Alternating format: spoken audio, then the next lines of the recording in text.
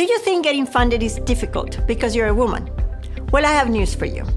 Now, in this particular moment, there are thousands of women getting funded. And you know why?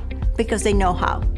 If you're raising money as an entrepreneur, you need to earn the trust of the investor or a funder or a sponsor. So you need to carry a series of conversations where you're earning trust. And the way to do that is to manage in smaller blocks.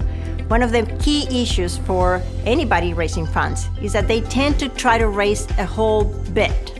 And it is impossible to raise two, three million dollars if you've never done it before. Join us on a free webinar when we will dispel the six most common myths about women's access to funding.